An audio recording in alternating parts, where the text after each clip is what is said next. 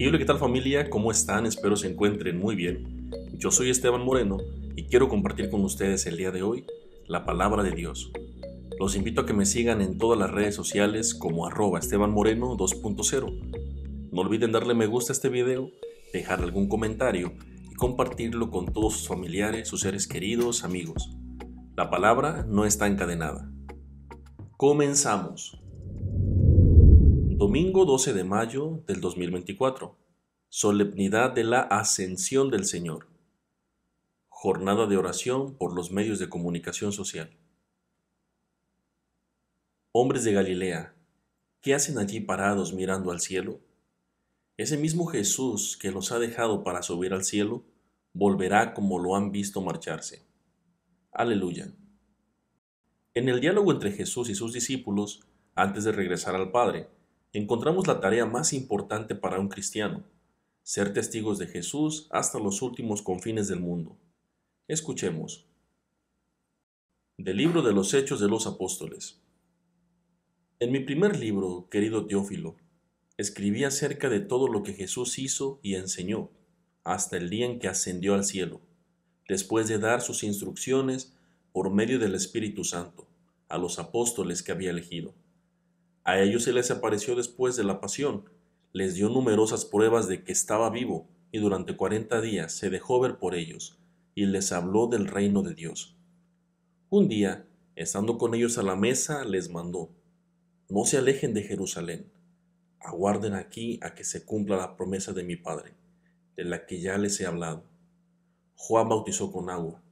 Dentro de pocos días, ustedes serán bautizados con el Espíritu Santo. Los ahí reunidos le preguntaban, Señor, ¿ahora sí vas a restablecer la soberanía de Israel? Jesús les contestó, A ustedes no les toca conocer el tiempo y la hora que el Padre ha determinado con su autoridad, pero cuando el Espíritu Santo descienda sobre ustedes, los llenará de fortaleza, y serán mis testigos en Jerusalén, en toda Judea, en Samaria, y hasta los últimos rincones de la tierra. Dicho esto, se fue elevando a la vista de ellos, hasta que una nube lo ocultó a sus ojos. Mientras miraban fijamente al cielo, viéndolo alejarse, se les presentaron dos hombres vestidos de blanco, que les dijeron, Galileos, ¿qué hacen allí parados mirando al cielo? Ese mismo Jesús que los ha dejado para subir al cielo, volverá como lo han visto alejarse. Palabra de Dios, te alabamos Señor. Del Salmo 46. Entre voces de júbilo, Dios asciende a su trono, aleluya.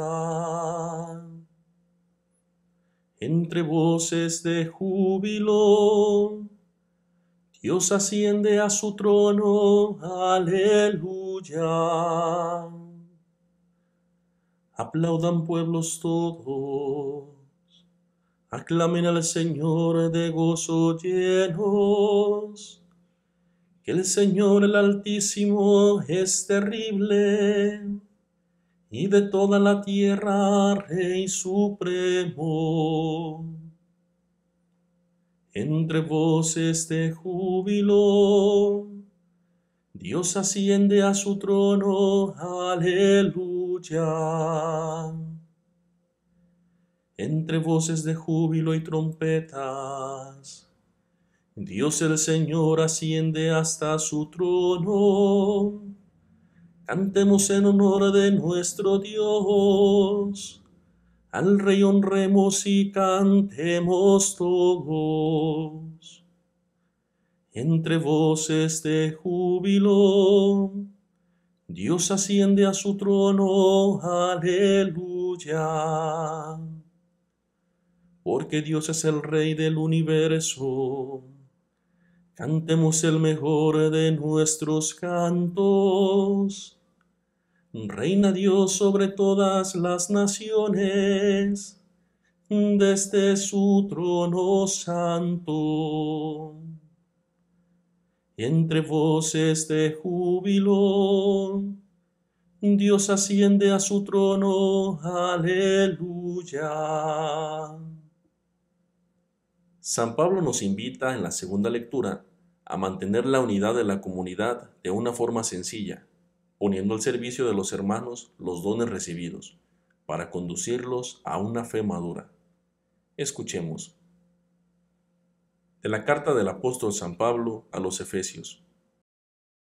Hermanos, yo, Pablo, prisionero por la causa del Señor, los exhorto a que lleven una vida digna del llamamiento que han recibido. Sean siempre humildes y amables, sean comprensivos y soportense mutuamente con amor. Esfuércense en mantenerse unidos en el Espíritu con el vínculo de la paz. Porque no hay más que un solo cuerpo y un solo Espíritu, como es también sola una la esperanza del llamamiento que ustedes han recibido. Un solo Señor, una sola fe, un solo bautismo un solo Dios y Padre de todos, que reina sobre todos, actúa a través de todos y vive en todos. Cada uno de nosotros ha recibido la gracia en la medida en que Cristo se la ha dado. Por eso dice la Escritura, subiendo a las alturas llevó consigo a los cautivos y dio dones a los hombres. ¿Y qué quiere decir subió? Que primero bajó a lo profundo de la tierra y el que bajó es el mismo que subió a lo más alto de los cielos, para llenarlo todo. Él fue quien concedió a unos ser apóstoles, a otros ser profetas, a otros ser evangelizadores, a otros ser pastores y maestros, y esto para capacitar a los fieles, a fin de que desempeñando debidamente su tarea, construyan el cuerpo de Cristo, hasta que todos lleguemos a estar unidos en la fe y en el conocimiento del Hijo de Dios y lleguemos a ser hombres perfectos, que alcancemos en todas sus dimensiones la plenitud de Cristo. Palabra de Dios, te alabamos Señor. Aleluya, aleluya, aleluya. Aleluya, aleluya. Aleluya, aleluya, aleluya. Aleluya, aleluya. Vayan y hagan discípulos a todos los pueblos, dice el Señor, y sepan que yo estoy con ustedes todos los días, hasta el fin del mundo. Aleluya, aleluya, aleluya. Aleluya, aleluya. Aleluya, aleluya, aleluya. Aleluya, aleluya. Jesús antes de regresar al Padre envía a sus discípulos a continuar su misión. El anuncio del Evangelio marcará un nuevo momento para la humanidad. La misión de Cristo hoy es responsabilidad de los bautizados. Escuchemos. El Santo Evangelio según San Marcos. Gloria a ti, Señor. En aquel tiempo se apareció Jesús a los once y les dijo, Vayan por todo el mundo y prediquen el Evangelio a toda criatura. El que cree se bautice se salvará, el que se resista a creer será condenado. Estos son los milagros que acompañarán a los que hayan creído. Arrojarán demonios en mi nombre, hablarán lenguas nuevas, cogerán serpientes en sus manos y si beben un veneno mortal, no les hará daño. Impondrán las manos a los enfermos, y éstos quedarán sanos. El Señor Jesús, después de hablarles, subió al cielo y está sentado a la derecha de Dios.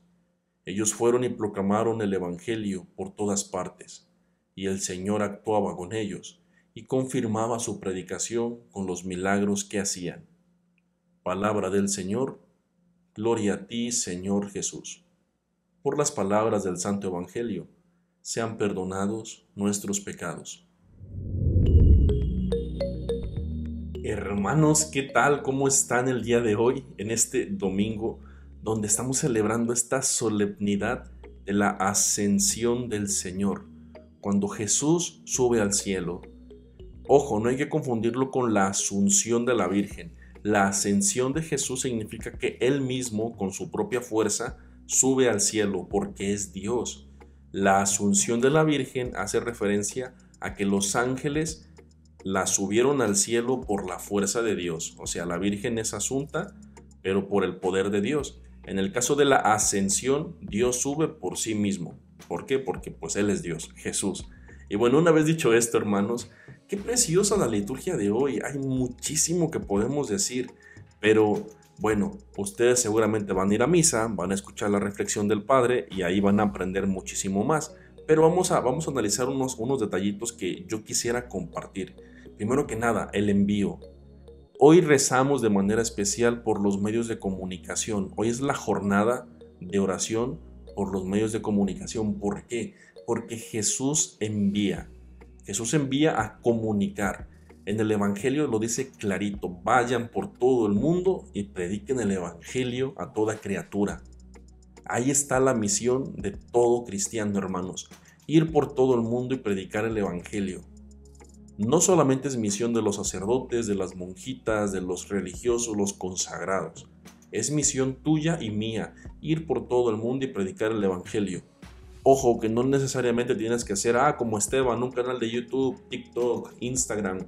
No, contigo mismo, con tu testimonio, ve y predica el Evangelio. ¿Y cómo vamos a predicar el Evangelio? ¿De qué forma? ¿Con qué actos? San Pablo lo dice de una manera que, Dios mío, ya quisiera yo cumplir con todo este checklist.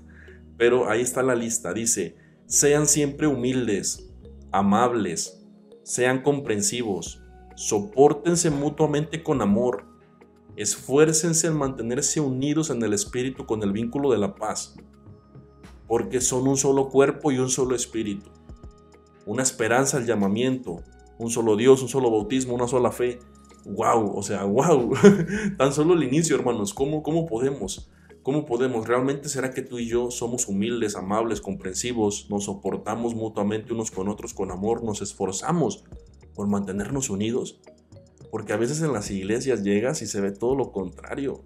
Se ve poca humildad, gente que lucha por el protagonismo, gente que en vez de estar unida está bien dividida, y no se soportan unos a otros, hablan, critican, chismorrean, chismes y cuanta cosa y media.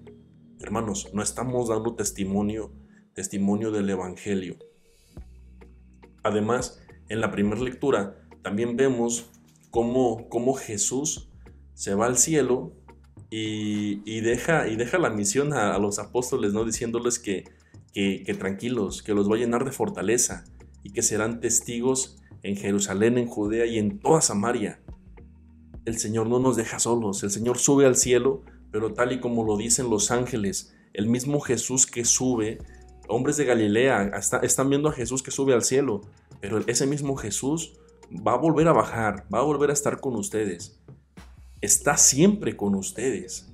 Y además eh, Jesús se va y no deja a los apóstoles así como si nada. Dice, va a llegar el Espíritu Santo Ustedes tranquilos, tengan paciencia y, además les da facultad para liberar demonios, para curar enfermos, para imponer manos. No los deja sin nada, les da las herramientas necesarias para poder cumplir esa misión.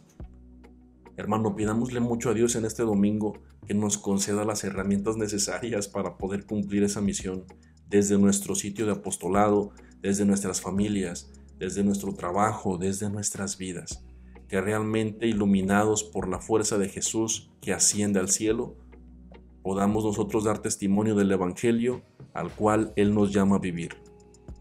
Que así sea. Alabado sea Jesucristo, sea para siempre alabado. Para pasar bien el día. Querida y tierna Madre mía, María, ampárame, cuida de mi inteligencia, de mi corazón, de mis sentidos, para que no cometa pecado santifica mis pensamientos, afectos, palabras y acciones, para que pueda agradarte a ti y a Jesús, Dios mío, y contigo llegue al paraíso. Jesús y María, denme su santa bendición, en el nombre del Padre, y del Hijo, y del Espíritu Santo. Amén.